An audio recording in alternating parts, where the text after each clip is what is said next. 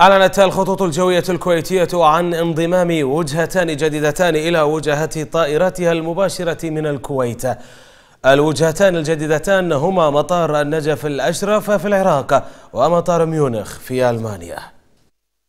وجهتان دوليتان جديدتان أعلنت الخطوط الجوية الكويتية اليوم إضافتهما إلى شبكتها ليصل مجموع وجهاتها إلى 37 وجهة حول العالم. الوجهتان الجديدتان اللتان ستصلهما طائرات الكويتية بشكل مباشر. هما مطار مدينة النجف الأشرف في العراق ومطار ميونخ في ألمانيا. وقالت رئيس مجلس الإدارة والرئيس التنفيذي للشركة رشا الرومي إن إطلاق الوجهتين الجديدتين يأتي ضمن الخطة الاستراتيجية الخمسية لتعزيز الكفاءة التشغيلية للناقل الوطني. وأفادت أن إضافة وجهة ميونخ المباشرة تأتي مكملا استراتيجيا للرحلات المتجهة إلى ألمانيا عبر التحليق المباشر دون توقف. بمعدل ثلاث رحلات أسبوعيا بمجموع سبع رحلات إلى ألمانيا. وذكرت أن الكويتية تسير إلى النجف رحلتين كل يومي أحد وخميس بإجمالي أربع رحلات أسبوعيا. لافتة إلى أن الرؤية الكويتية تتمحور حول تعزيز مكانة الناقل الوطني للكويت لتصبح الشركة المفضلة لربط البلاد بالعالم. وكانت الكويتية قد أعلنت في وقت سابق إطلاق جدول الشتاء لرحلاتها لهذا العام ما أسهم في سلسلة التغييرات الإيجابية على مواعيد المغادرة والوصول وعدد الرحلات.